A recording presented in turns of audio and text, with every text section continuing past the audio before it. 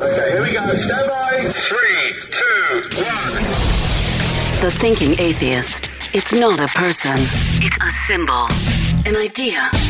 The population of atheists in this country is going through the roof. Rejecting faith, pursuing knowledge, challenging the sacred. If I tell the truth, it's because I tell the truth, not because I put my hand on a book and made a wish. And working together for a more rational world. Take the risk of thinking for yourself. Much more happiness, truth, beauty, and wisdom will come to you that way. Assume nothing. Question everything. And start thinking. This is the Thinking Atheist Podcast, hosted by Seth Andrews.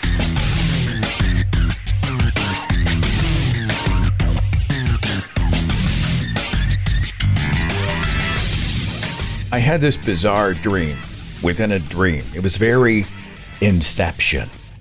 I'm dreaming that I'm in a massive sandstorm. I'm on some sort of a remote ocean beach area. I can tell, I, I, I intuit that there's a giant cliff next to me, although I can't even see it. So this feels extremely remote.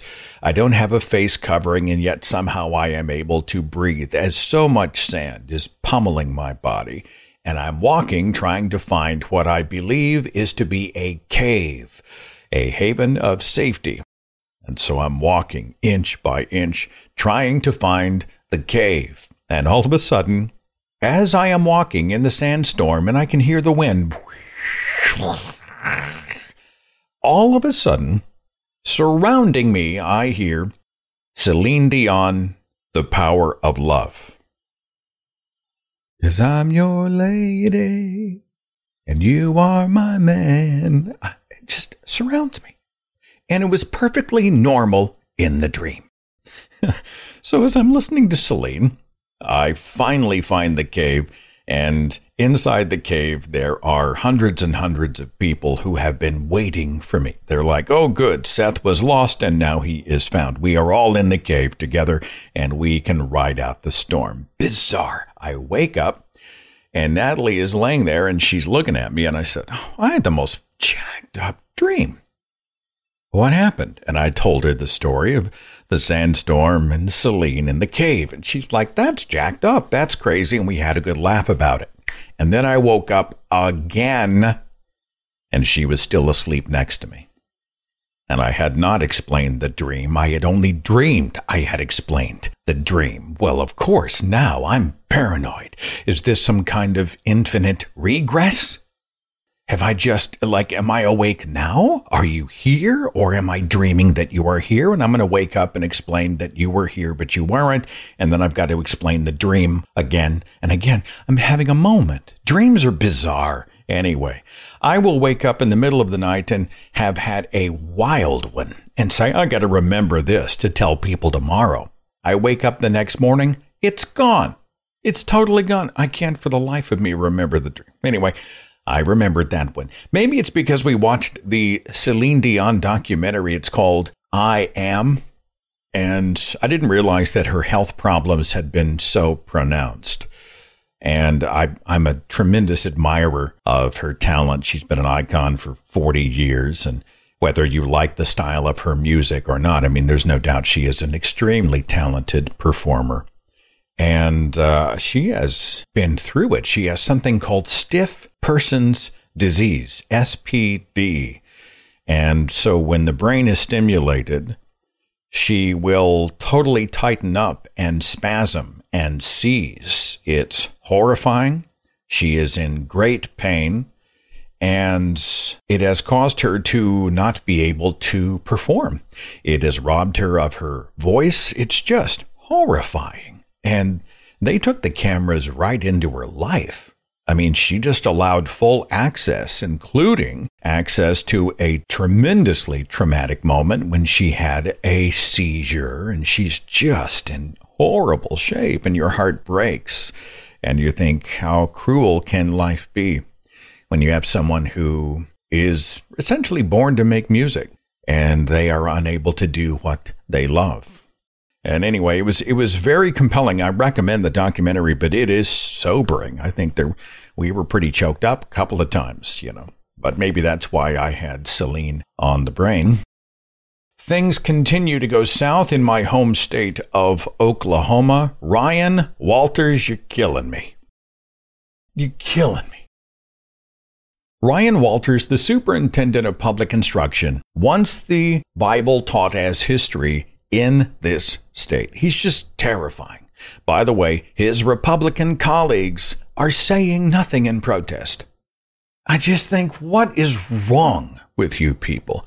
And I know there have to be some Christians against Christian nationalism. Are they cowards? They just don't want to like rock the boat or look disloyal. But you know, there got to be some people whispering about this guy and how he's totally out of control and he's already bringing lawsuits upon the state.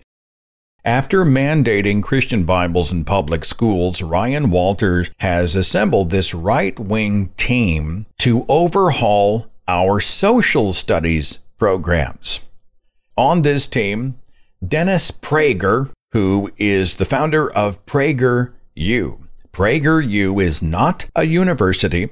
It holds no classes. It has no accreditation. It is not a school. Dennis Prager is a right wing talk radio host.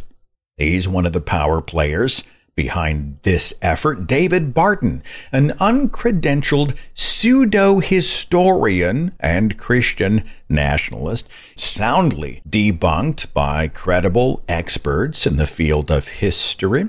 Steve Deace, I think it's D E A C E, is it Deace or Deace? Steve is a college dropout and a former sports talk radio host who went into journalism for the Blaze Network.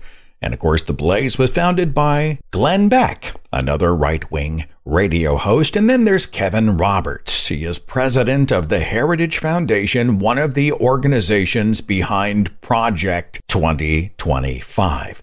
These are the people that he is having to retool and refit and degrade Oklahoma social studies curriculums. And it's terrifying.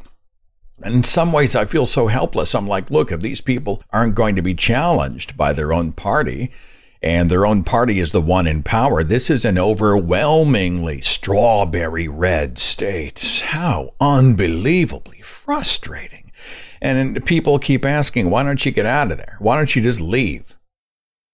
And I fantasized about it, but honestly, the cost of living prohibits us from going most places. And I really kind of feel like I need to hang here. You know, at least I'm a blue dot in the middle of a red state, but it is not easy. It is not easy. Anyone else feel that? I don't know. I've got a web call uh, let's see. I don't see a name. Are you with me and can you hear me? Yes, Seth, I can hear you. How you doing? This is Sprinkles with the uh, Reason Riders Atheist Motorcycle Association. How you doing? Sprinkles, welcome to the show. Yeah, yeah, thank you. So my question was regarding uh, your thoughts on the Satanic Temple introducing ministers into the schools out there in Oklahoma after the uh, recent debacle. I think the Satanic Temple is onto something. If we're going to have these Christian nationalists shoving religious dogmas down everybody's throats. And right now we're it's in crisis mode. We're trying to block it. But until we block it, if they're going to say we want religion in schools, I welcome the Satanic Temple. Fine. You want to put a cross up? You want to put the Ten Commandments up? You want to put a baby Jesus up? Let's bring in Baphomet and let's put the Baphomet statue up as well and have after school Satan and all those things. So I support it. I don't know. What's your take on it? I support it as well. We recently had a bill out here in Arizona where where I'm at where they were trying to not allow anything satanic on the grounds of the state capitol where they have a 10 commandments monument of course and the satanic temple out here pushed back really really hard and that bill did not pass because of that pushback. So I think the the pushback and the uh, quote unquote scare tactics are unfortunately necessary, especially with Project 2025 at our doorstep. I kind of like TST. They're really good at turning the screw and they're good at turning everybody's uh, words and actions back on themselves.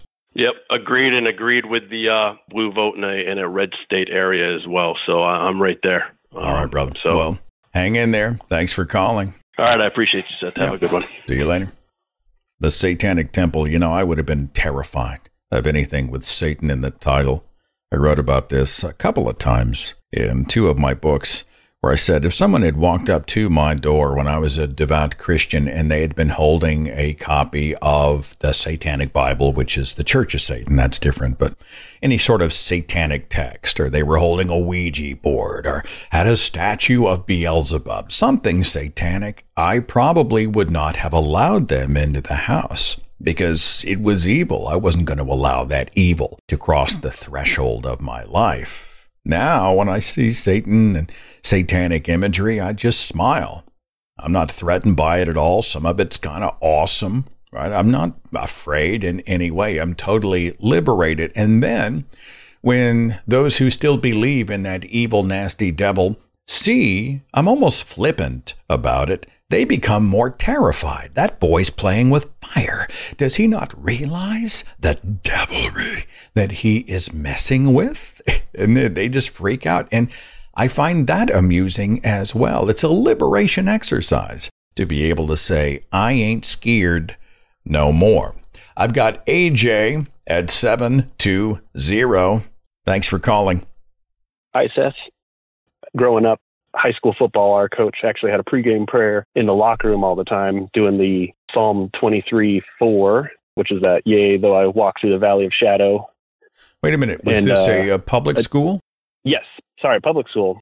Growing up in Wyoming, so very red and fairly religious in general. But yeah, public school. So this is something that I was teenager. Um, all my other teammates are bowing their head with their eyes closed, and I'm one of the few, if only one, looking around, eyeballing everybody side to side, and just not participating, but being in it the whole time. I'm interested in, yea, though I walk through the valley of the shadow of death, before a football game. Was this like a warrior's cry? Yes, I believe so. It's trying to make us face our fears and yeah, get out there. So, do you think the other team was having a similar prayer? You know, yea, though we walk through the valley of the shadow of death, give us victory, and maybe those prayers sort of cross the field, cancel each other out. Probably, but I'm sure they weren't. No one was thinking that. the time. Well, Thanks for calling. Yep. Thanks for sharing our concerns about the infection of superstition in public education. Hang in there, okay? Uh, okay, sounds good. Thank you, Seth. Yeah, we'll see you later. 612, is it Nicholas? Yes, it is. Nicholas, what's on your mind? What do you want to talk about? So, yeah, I used to be uh, a fundamentalist, now pretty far left. I used to actually be somewhat of a Christian nationalist, although I wouldn't admit it at the time. I actually used to listen to Steve Deace, and I now call him the angry potato. Um, he's always frustrated at something. He is very, if you turn him on mute and watch him get angry, it, it is somewhat comical his rhetoric is very Christian nationalist. It is very much Bible centered. He's got this theology Thursday thing where he misinterprets a Bible or he'll dedicate whole shows to clamping down on gay people or LGBTQ and claiming that we're trying to trans the kids or something like that.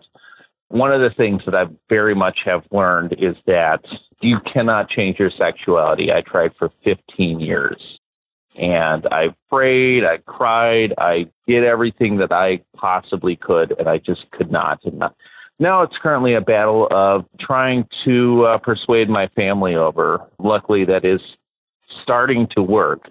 My mother and father are kind of starting to open up, showing them that I'm still the same person, but I'm a lot happier now that I've actually come to terms with this. Progress is progress, and you can't expect them to flip overnight. I had to basically dig myself out of the hole that I had kind of created for myself. And another thing to acknowledge is that my parents also, because I was very angry with my parents for about half a year. And I then realized they grew up in the same sort of scenario, but it didn't bother them because they weren't gay. They weren't an outlier. So they very much are also victims of the very thing that they are putting onto other people. You doing okay these days? You hanging in there? I am doing better than I ever have emotionally. I, like I said, after I came out, it's been about a year now, and I am doing very well emotionally. I am, I feel free. Christianity ended up being this anchor that kind of, I felt like I was anchored to the bottom of the ocean and the chain wasn't quite long enough, but the anchor is very heavy. And so I would go with the tides, I would get pulled underwater. And now I've cut that anchor loose and I'm free to steer my vessel wherever I please. So I'm doing very well. I appreciate you asking. That's fantastic. Well, Nicholas, you are valid and your life is yours to live and you inspire me. And I appreciate the call today. Thank you. Thank you very much, Seth. See you later. When I got out of religion, one of the habits I had to break when I, I would talk about the gay lifestyle, which is how we spoke about it. Yeah, eh, the gay lifestyle. And even then, I wasn't cognizant of what I was saying, really. I mean, yes, I saw it as rebellion against nature. Right? It's Adam and Eve, not Adam and Steve. I was that guy. But when I left the faith, I was still using the phrase, and someone had to correct me. You know, when you know better, you do better. And they were like, well, it's, it's an orientation. It's not a lifestyle. Lifestyle implies a choice. Well, you know, I didn't choose to be attracted to so and so or such and such or a certain gender, etc. That is hardwired into me. It is part of the natural world. So when you say lifestyle, that sort of, um, I don't know, it gives a little bit of fuel to those who say that it's a choice instead of an orientation. And I had to make that adjustment in my own life. I also appreciate the fact that Nicholas sees his parents not just perpetrators of bad ideas, but victims of bad ideas. I spoke about this a little bit on my Facebook page, and it's so unpopular with a lot of people who just want to go hard. They just don't see the perpetrators of harm in three dimensions. Let me read this, and you can agree, disagree. Let me have it in the comments section. I said, This isn't a popular opinion, but I'm convinced we'll never build a better future without speaking to the humanity of those with bad ideas. Yes, we should be outraged at the outrageous, but empathy, grace, and compassion are not the enemies of justice. They're not a cheat, weakness, or enabling. And in this toxic fuck you culture of zero to crazy self righteous tantrums, someone has to be the adult in the room. As I emerged from my Fox News evangelical cocoon, I was a human being with a future worth salvaging. And I moved my needle only when I didn't feel like I'd get destroyed. The world is complex, people are complex, and yes, it's possible for someone to be both a perpetrator of harm and a victim of harm. Indoctrination is real and it runs deep. Those everyday people need an introduction to the better world. They need tools, they need rescue. And I posted a quote by Carl Sagan, and I'll just read it here. He said, In the way that skepticism is sometimes applied to issues of public concern, there is a tendency to belittle, to condescend, to ignore the fact that, deluded or not, supporters of superstition and pseudoscience are human beings with real feelings, who, like the skeptics, are trying to figure out how the world works and what our role in it might be. Their motives are, in many cases, consonant with science if their culture has not given them all the tools they need to pursue the great quest. Let us temper our criticism with kindness. None of us comes fully equipped. I post that, and immediately people are like, Well, I'm not going to be kind to Nazis. I swear. It's just so difficult to talk to so many of these people. I find myself frustrated. It's like you're not hearing me. Plenty of calls still to come on whatever's on your mind. Short break. Right back.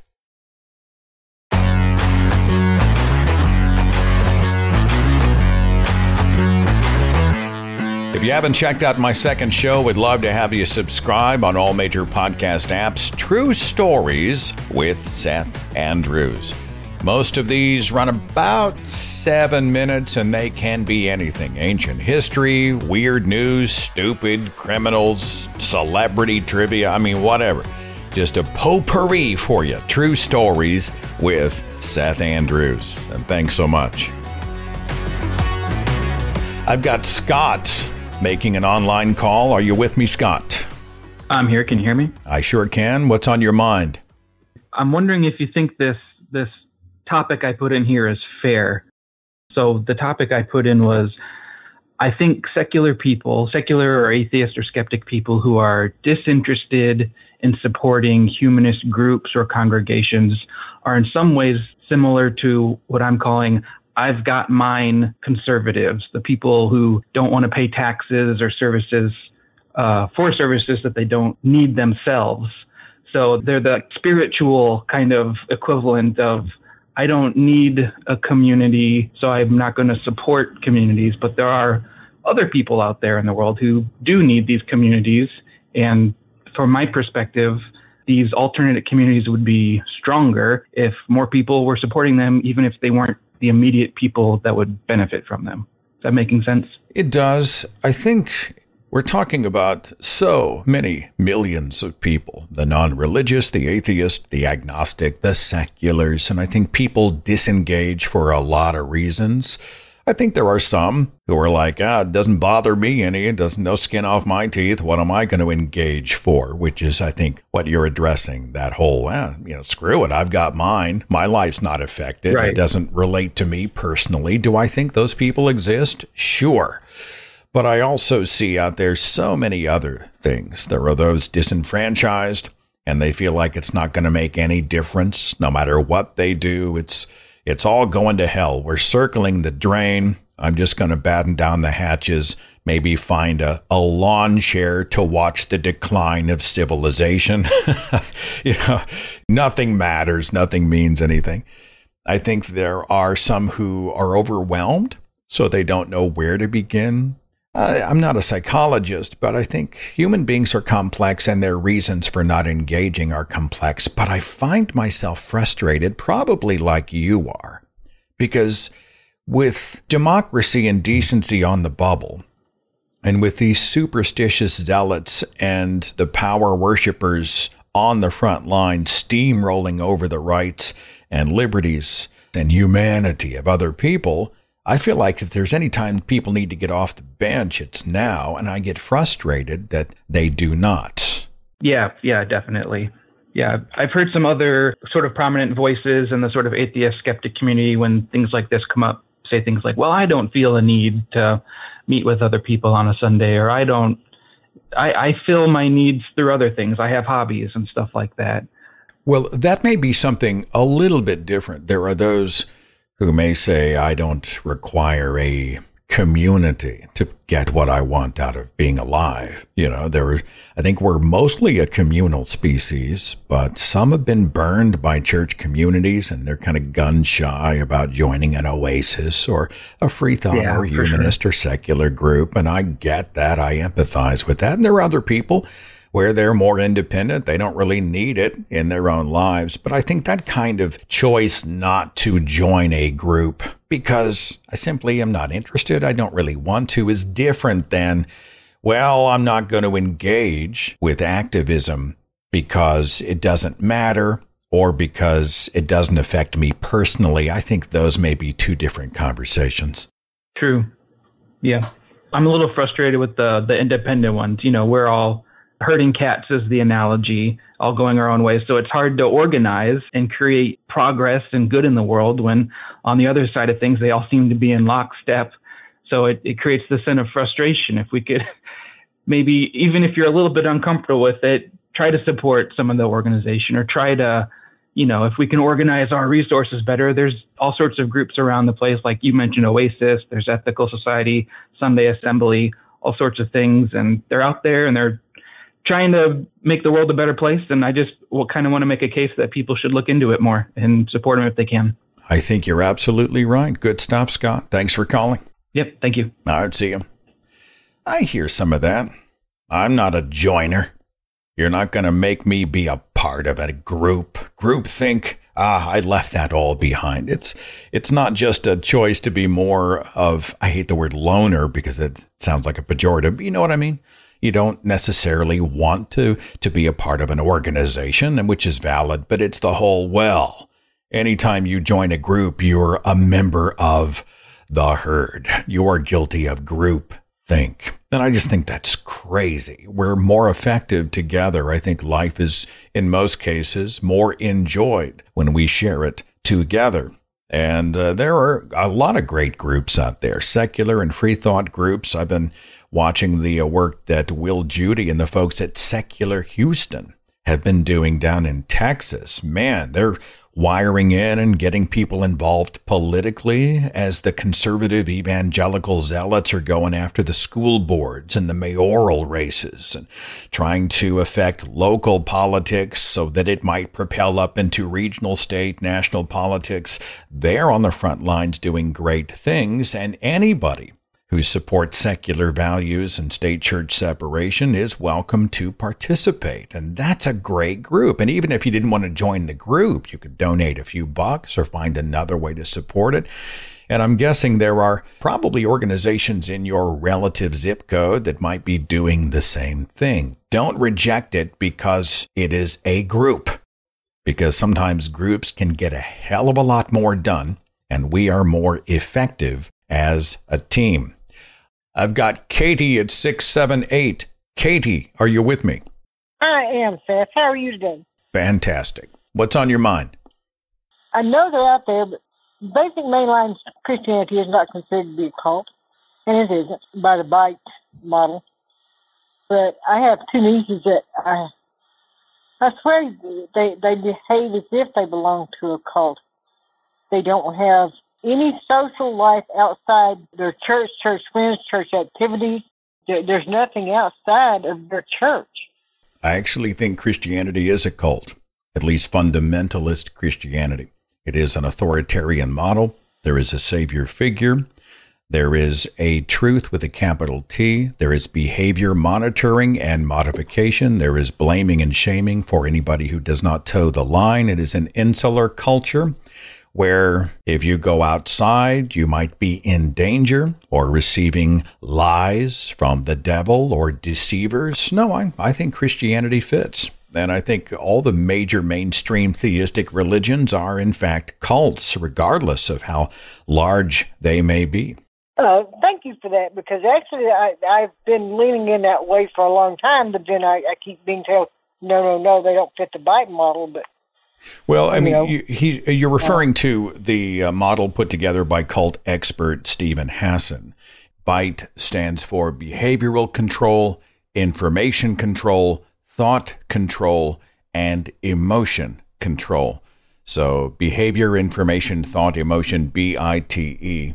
And I'm not saying that's invalid. Yes. I'm just saying if we look at the definition of cults, often they are seen as fringe they are seen as small, well outside the mainstream. But if you look at the characteristics of a cult, they actually can apply to Christianity, Islam, etc. All you do is multiply the members. So I think the atmosphere, the culture, the dogmas, the control, those types of things, they are the same. And in my mind, it qualifies Christianity, at least in a fundamental Bible literalist sense. I do see it as a large cult. Okay, Katie? Okay, and uh, one other question if you have time. Sure. You and I know that there's not a four year old that was within the realm of Christianity that can't recite the Lord's Prayer, and it's plastered on walls, recited inside, outside, everywhere. But if you ask any of these people what the verses just prior to the Lord's Prayer says, and not one of them can tell you and I don't remember hearing any minister preach about those verses. That's from the Sermon on the Mount, where Jesus said to go to your closet and pray. Do not pray in public. Do not even pray in the synagogue. And none of them know this. And whenever you see a lot of these posturing zealot types doing performative prayers, They're standing outside the gate to the halls of power and they drop to their knees. No, Lord, oh, we dedicate this nation Oh, to you, yes. goodness. And, and you're like, uh, have you read the book of Matthew? I understand totally what you're talking about. So I appreciate you so much, Katie. Thank you for calling. Thanks for being a part of the community. Have a good one, okay? You too. All right, we'll see you later. I mean, if I'm going to confess, although I'm familiar with both, I never in my brain connected those two. So I must admit, uh, guilt's not the word. I'll admit to ignorance. It is uh, interesting to read the verse. Let me just read the whole thing. Matthew chapter 6 Be careful not to practice your righteousness in front of others, to be seen by them. If you do, you will have no reward from your Father in heaven. So when you give to the needy, do not announce it with trumpets, as the hypocrites do in the synagogues and on the streets to be honored by others. And if I skip down to verse 5, when you pray, don't be like the hypocrites, for they love to pray standing in the synagogues and on the street corners. And then, of course, it goes down to verse 9 and starts the Lord's Prayer, which was taught to us as a song.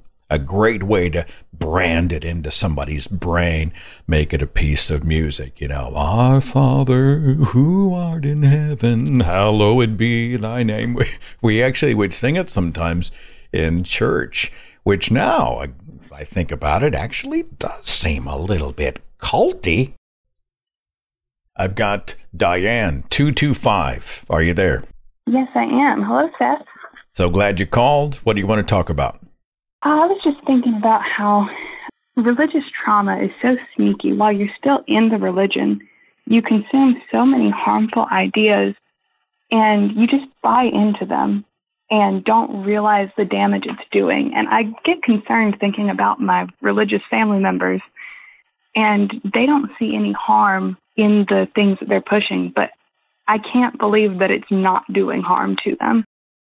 Can you describe the type of religion that they practice? Yes, uh, fundamentalist Christianity here in the South. I live in Louisiana.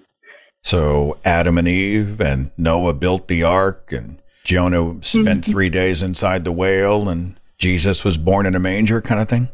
Yes, um, Bible literalist, literalist and young earth creationist. I know for myself, I just, a couple weeks ago, I came out to my parents as both an atheist and a member of the LGBTQ community. And one thing that I noticed is when I told them I didn't believe in God, my dad got up and hugged me. When I told him that I was gay, he threw his hands in the air and said, Oh, I really didn't want to hear that. So there was a bigger reaction to the homosexuality thing than even the not believing in God. And he's a pastor. So I would think that logically he'd be more upset that I rejected the belief in God than the other stuff. That's pretty gutsy to go in and drop two bombs on him like that face to face. Had you been wrestling with the decision to come out for a while? Yeah, uh, I deconverted from Christianity about two years ago, and I didn't even realize about my sexuality until like January of this year. Just the the messages from the church had made me repress it so much. I didn't even know it about myself. I was shocked whenever I realized that I wasn't straight, even though I had never really had any interest in guys.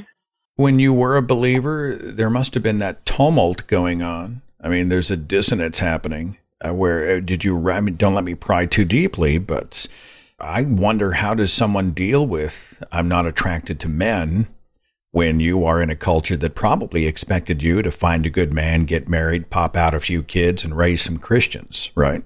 There was some dissonance, and I look back and I can't believe that it flew under the radar for so long.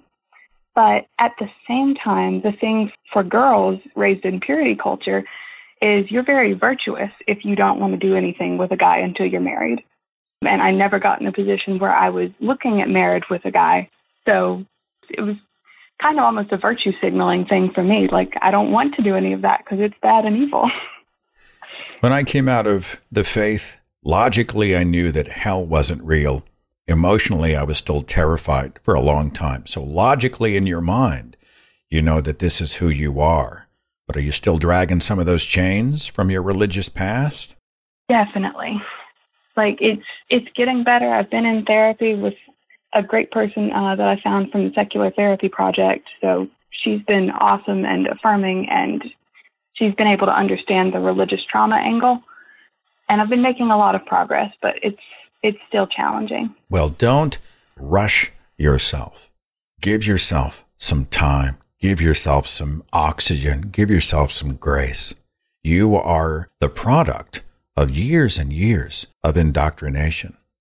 But the people who said that who you are is aberrant or perverse or a sin, those people who wrote the Bible, they didn't know anything about anything. Diane, they didn't know what the stars were. They didn't know what germs were. They didn't understand diseases like epilepsy. They didn't know that the earth revolves around the sun.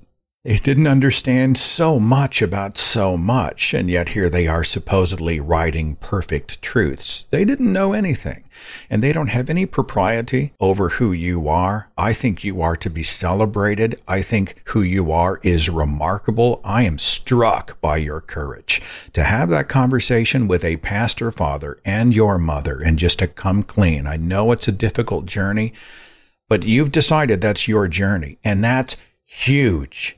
And I just, I got your back. This whole community has your back. You are valid just the way you are. Are you hearing the sound of my voice, Diane? Yeah, thank you, Seth. All right. We got you. And, and if, uh, you know, anything else happens, a new chapter in your story, I'd want to hear about it. So you, you have your people call our people and we'll talk again. Okay. All right. Thanks. All right. Thank you. Whew. Have you heard that before? Someone said my parents were more traumatized when I came out as gay than when I came out as an atheist. I'm trying to think, had I been non hetero, which would have traumatized my parents more? I don't know. They're pretty homophobic. I don't know. It might have been an equal free, equal time freak out. 619, I don't see a name. Yeah, my name is uh, Saul from San Diego. I am a long time uh, listener to your podcast. I love your show. I came out from um, Islam. I I uh, I was a Muslim. I'm an ex-Muslim. I was converted as a Muslim from Sunni to Shia, and later I tried to study Christianity. I uh, delved in. I didn't like it either, and I discovered later that America is unfortunate because we still have this conservative thing going on here. Like I was for a long time a believer that Christianity was different from Islam, but going through politics here, I discovered that Christianity is just another fundamentalist religion, just like Islam. And what the Supreme Court did recently, for example, when they give the president all the powers like a king, that reminded me of Islamic countries. So that even made me feel more sorry for this great country going down, like ending, I hope, and it will not end like that, in a dictatorship, a Christian fundamentalist group rolling over everything. But I don't know, like, what do you think? I mean, do you think that Christianity could be the curse that could kill this democracy? Oh my gosh. Um, let me make sure I'm understanding your point. Having come out of Islam and you have seen these authoritarian Islamic theocracies, religious dictatorships, you are seeing us trending toward a religious dictatorship in the United States, except here it would be sort of framed as a Christian nation. Did I get that right? Yes, exactly. I don't think it fits in a box, but I do, in my own mind, see two major gears in the machine. One, there are Christian fundamentalists who know nothing about our history. They've never read the Constitution, at least properly. They do think that we are a Christian nation that belongs to their specific deity. So I do think there are many true believers at play. But I also agree with journalist and author Katherine Stewart, who has written the book The Power Worshippers. I think a lot of people have weaponized Christianity for power. Many of them are atheists, but they understand that if you invoke God and you sort of stoke people's fears and speak the language of zealotry, that you can obtain and then consolidate power. They understand the power of saying that God wants this, I'm just his messenger. And so I think those two gears are really the main ones driving it true zealotry and a quest for power, and they kind of bleed into each other as well. Does that sound right to you? Do you have something else that you think is playing a major part? Yes, uh, thank you for your point. I, I think that the problem is that uh, Republicans are, like, for example, they're against having education available to everyone in this country. And uh, that's exactly what religion needs. An ignorant populace, of course, will be easy to control. And also the rich, he doesn't mind like giving the ignorant people some religious drugs so they can live with it. So they don't care like uh, about having a better nation. And I just want to make last point is that Americans don't have the experience I went through. I have seen religion used even by some secular people, like some people calling themselves secular, yet they pay millions of dollars to mosques and religious clerics in order to keep people under control. So I appreciate your show, uh, Seth, and I love you. I love your show, and I I wish you all the success. Thank You're very you so kind. much. I'm glad you escaped Islam and uh, you keep kicking out there, okay? Okay, thank you. Have a good day. Bye bye. Christianity at its core is an authoritarian model. And I think that's one of the reasons why so many of these devout Christians who know really nothing, I say they're devout emotionally, right? They are those people who they may go to church on Sunday and they live pretty much religion free lives the rest of the week, except for maybe praying over the mashed potatoes kind of thing. Maybe they wear the cross necklace, but they claim Christianity we do Christian things and we have Christian friends and Christian values, and this is a Christian nation. And whatever the Christian nation candidate tells us, we will do because he is God's man. Well, I think these are people primed for authoritarianism. This is a command handed down that you will obey. It's a way of surrendering thinking, surrendering having to navigate the complex on your own. You sit back and you're spoon fed what to do next. I also think there is a suspiciously Old Testament vibe to the Savior King narrative when it comes to Donald Trump. These Christians, many of them, do not just want a Christian country that puts them at the head of the table. I think they want Old Testament justice doled out to everybody they find icky. I, I, think they, many of them, are gleeful at the idea of taking those brown people at the border and splitting them away from their families. And those icky gay people, let's make their marriage illegal and maybe even make it a crime to be gay. Those people who have aborted babies, they are the enemies of God. Those murderers, put them in prison, execute them. They see an Old Testament kind of what they call justice going on and they they're gleeful about it. Forgiveness? Nah, it's punishment. It's blood in the streets. And you know what? The infidels, they had it coming. And if that sounds strangely like Islamic regimes, well, it absolutely does. These types of shows are great ways for us as a community to interact with each other, and we will take more of your calls in just a second.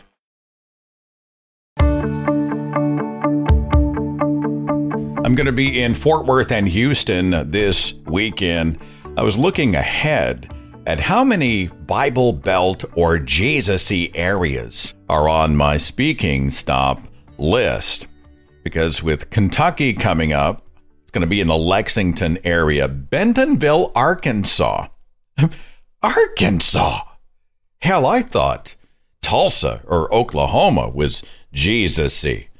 But man, uh, you know what? I spoke in Little Rock recently, and I'm driving back. I got Natalie on the car phone or whatever we're talking. And uh, I looked to my left. There was this big pasture, and there were, no kidding, like 50 alternating signs Trump, make America great again. Trump, make America great again. Over and over and over and over and over.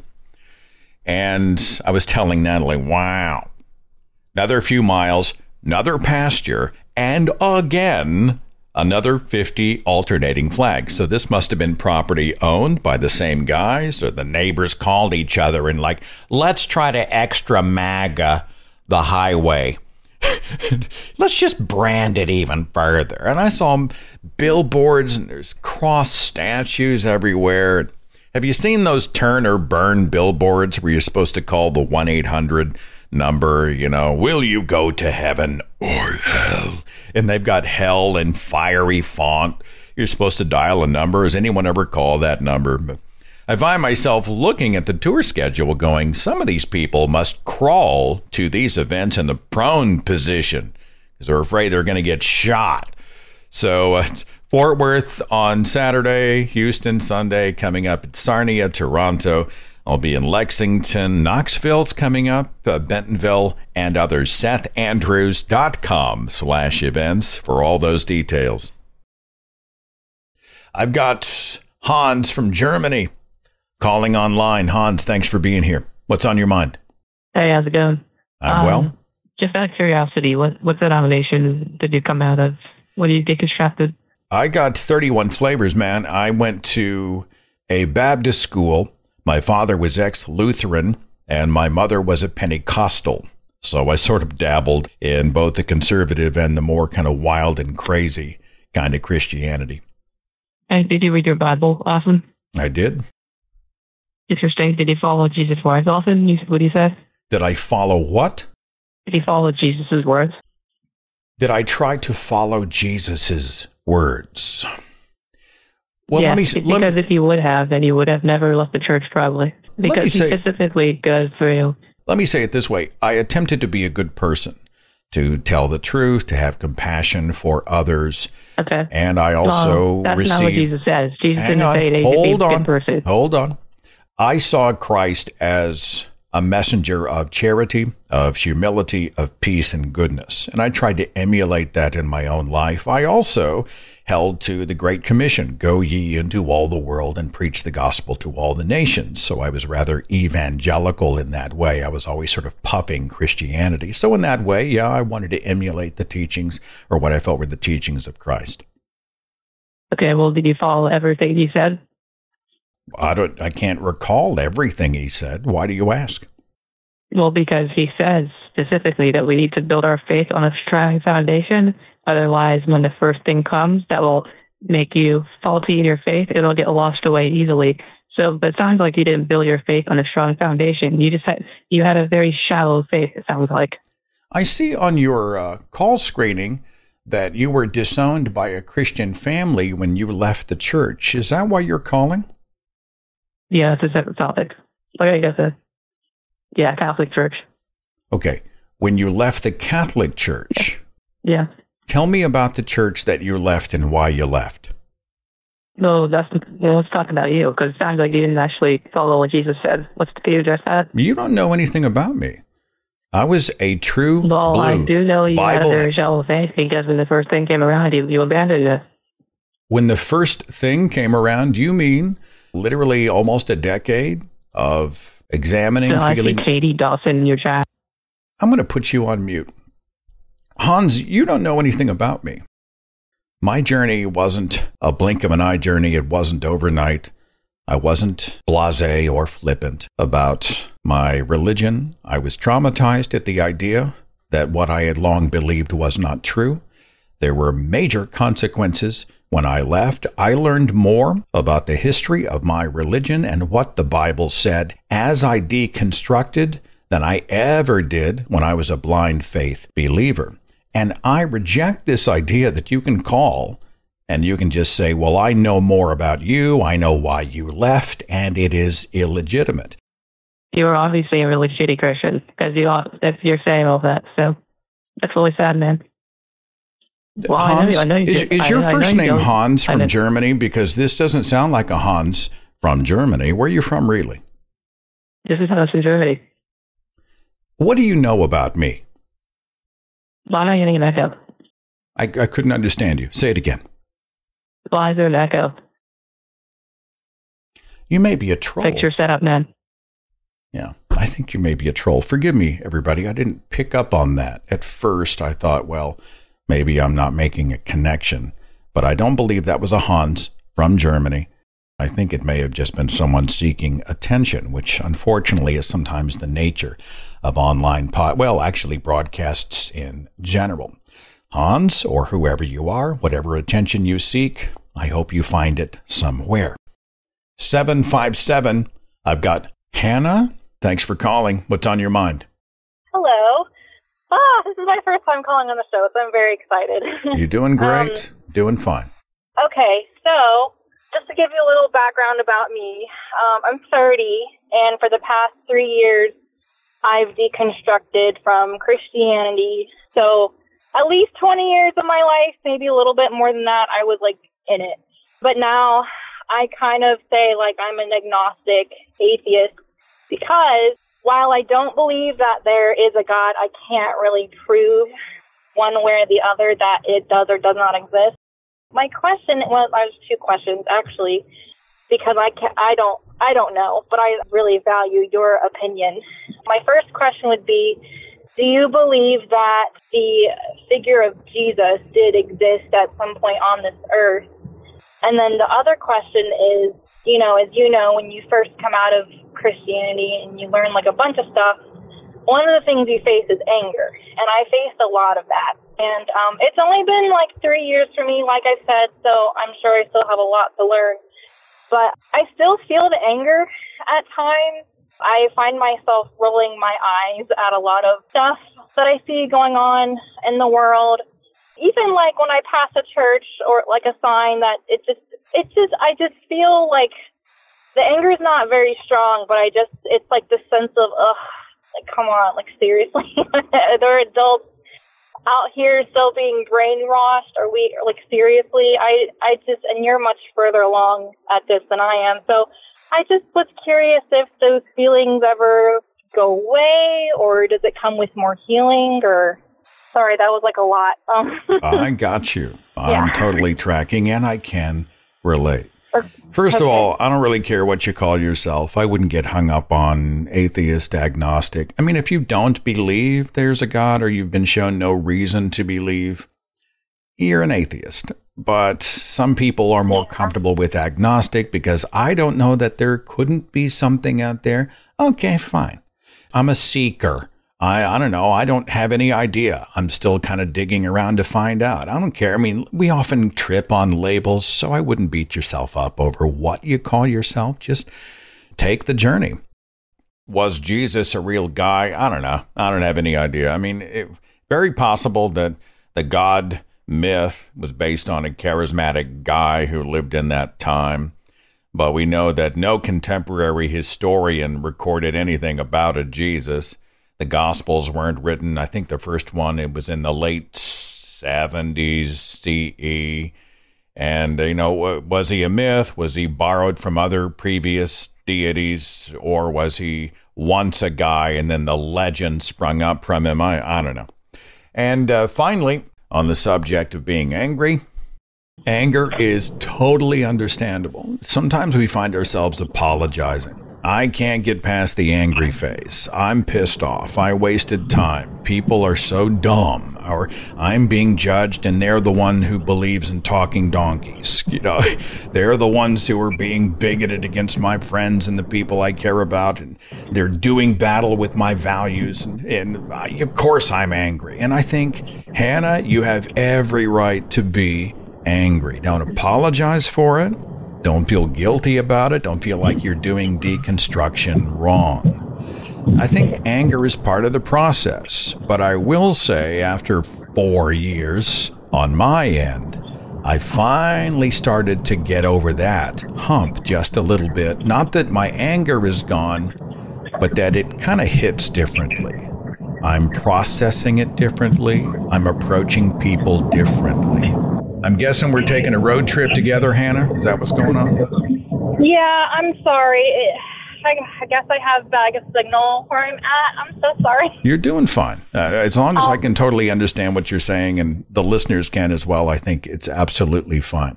It- Here's the one challenge that I have I think anger is a powerful motivator, and that's a good thing. Anger can also eat us from the inside. It can turn to this kind of non-stop teeth gritting rage that is destructive. It's destructive to us. It doesn't necessarily help us to change the world. It makes everything harder. And that's a tough line to draw. So, as I am someone who cares about other people and I want to see a better world and I'm upset about injustice, I'm angry about that. But I've also finally come to a point when I've been able to channel it differently and also find a little bit of balance to embrace the good and not allow my rage to eat me alive. Does that make sense? All right. Thank you so much. I, I totally agree with that. Time is a, an amazing healer, but it's a long journey. For some, I'm telling you, that if you look at the temperature of my work when I first came out and started this channel, I was a hell of a lot nastier. I was more sarcastic. I don't know if nasty is the word, but I was just pissed off and I was going hard all the time. Boom, boom, boom. And it took me a while to get over that speed bump. And that's okay. And so do it on your timing, but I think better days are going to come for you. All right? Thank you. I, I really appreciate you and you know, I think it I think you're really strong and brave for putting up with trolls and I really thought you handled that with uh I don't know if grace is a, a weird It's word to use, but I mean you did. You handled it with grace and it was perfect. Um so I just really admire that and how you listened to people.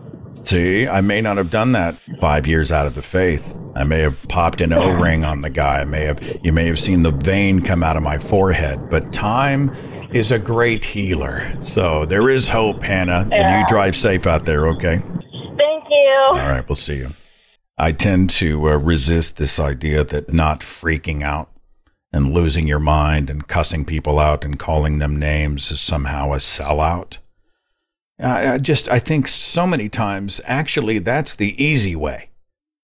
It's easy to knee jerk. It's easy to surrender to your first emotional instinct and to pound on the table and to call people names and to lose your mind. I mean, any child can do that. And I'm not saying uh, already there's someone who's going, well, Seth says we shouldn't be angry about, again, the Nazis.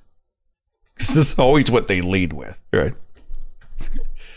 No, I'm I'm just saying. uh, I've been going through this on social media with the whole punch a Nazi crowd.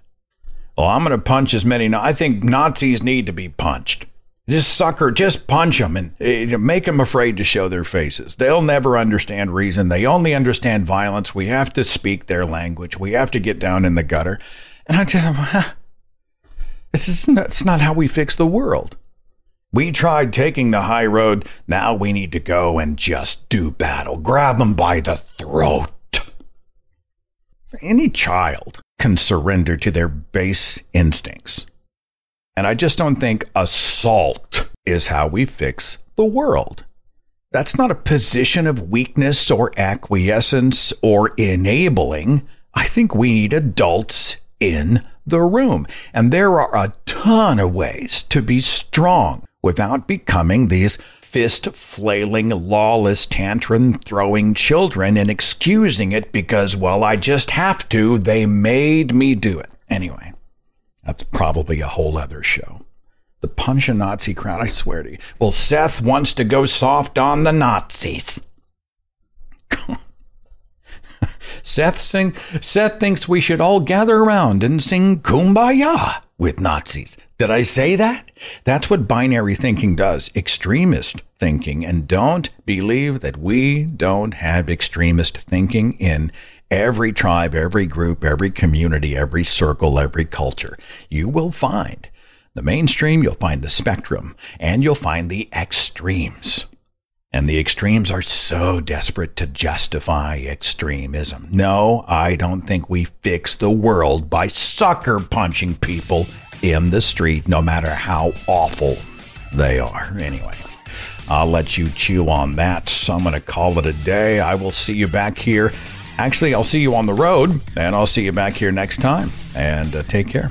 Follow The Thinking Atheist on Facebook and Twitter for a complete archive of podcasts and videos, products like mugs and t shirts featuring the Thinking Atheist logo, links to atheist pages and resources, and details on upcoming free thought events and conventions. Log on to our website, thethinkingatheist.com.